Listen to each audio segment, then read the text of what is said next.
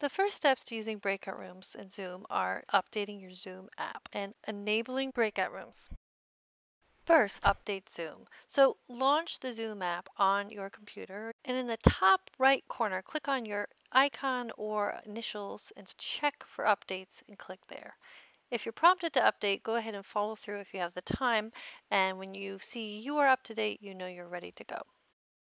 Next, in a web browser, go to stonybrook.zoom.us, click Sign In, sign in with your NetID, NetID password, and then authenticate with Duo if needed.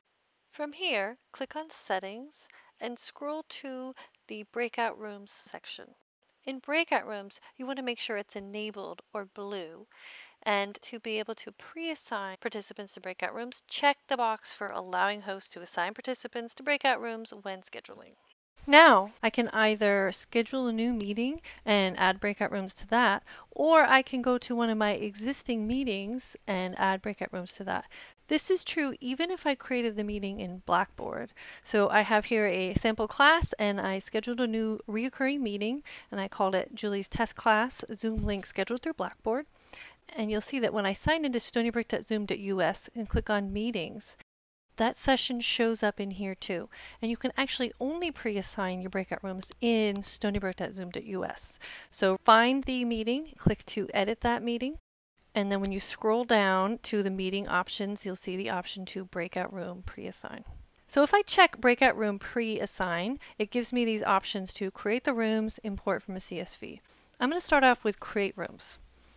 When I click on create rooms, there's nothing here yet except for a note that I can create up to 50 rooms and assign right now a total of 200 people. One of the first things you can do with pre-assigning breakout rooms is to simply create the rooms ahead of time so they're ready for you when you're in the actual meeting. I can click on the plus sign next to rooms and I've created my rooms here, however many I want.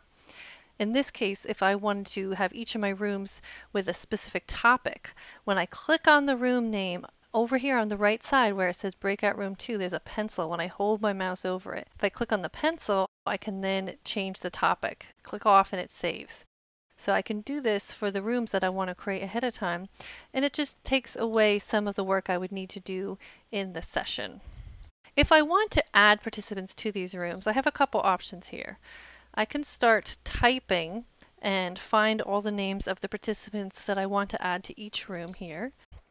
You can only add internal or at stonybrook.edu accounts this way. In some cases, like adding external Zoom accounts, use the CSV option. So I'm going to remove the participants I added. I want to show you the CSV way. If you import, the room names will be overwritten, so you don't need to create room names first. So when I click on import from CSV here or in the earlier screen, I have this information here about what's required. It says it needs a breakout room name and the email address. Also gives me option to download a template and use that. So let's do that. I'm going to download the template, click to open. It's a CSV file which you can open in Excel or any spreadsheet program.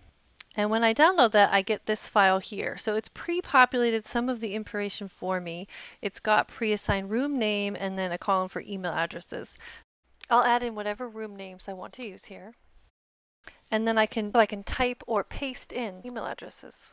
It's important to note that you can only pre-assign email addresses of Zoom accounts. For classes, you can go to Solar and download your class roster, for example, to make sure you have the right address. And within Stony Brook, it's always the at stonybrook.edu email address.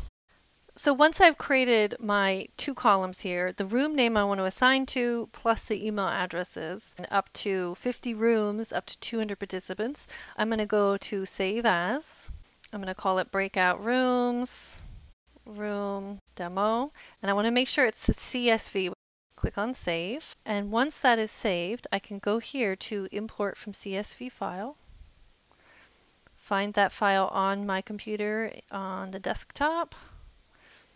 There it is. Drag it over and my rooms will each be created with the participants I assigned. I'll click save on that and then save on the meeting and those pre-assignments are there. When I go to start the meeting, on the right hand side is my participant view, Bob Smith. On the left hand side is my host view. When I'm ready to open the breakout rooms, I would choose breakout rooms from the bottom or from the More menu. And if I've pre-assigned breakout rooms, I'll see those breakout rooms names and anyone who's currently in the session and signed into the Zoom account I pre-assigned will show up in that room. If you used pre-assigned rooms simply to give the rooms a name, at this point you can click the gear and check the box to let participants choose their own rooms and then participants can go to the room as you named them. In this case, I didn't pre-assign Bob. The only participant in my meeting right now.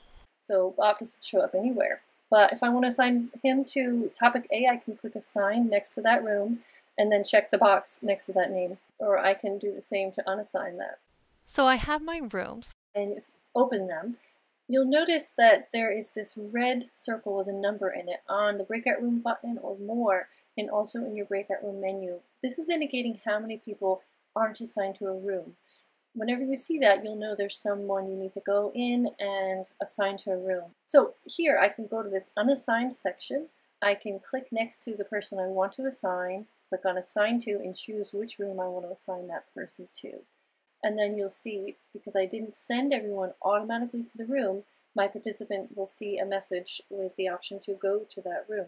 I'm not going to have the person go right now, and you'll notice that there is a little menu my participant sees here at the bottom that shows where he can click when he's ready to go to the breakout room on that More option.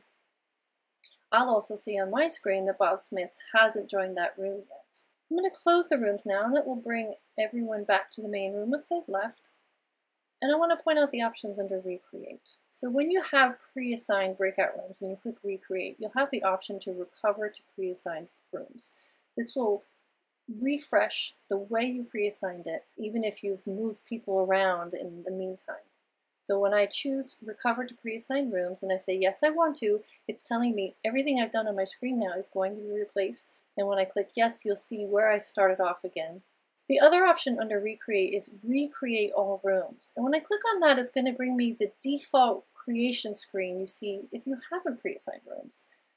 One of the things I can do is use the assign automatically to create another configuration. So let's say I've pre-assigned breakout rooms, but I want to have another mix, another way to group up my class. I can use assign automatically and choose how many rooms I want. And if I click recreate here, I'm going to get a different configuration of my participants.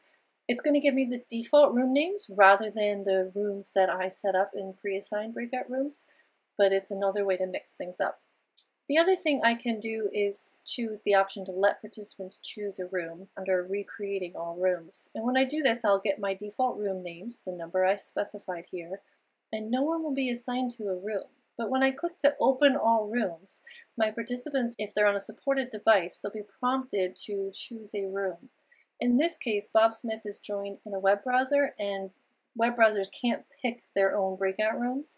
So in this case, I'll need to assign anybody who didn't choose their own room or couldn't choose their own room, I'll need to assign them from the unassigned section to the room, and then they'll see the option to join that breakout room from their screen.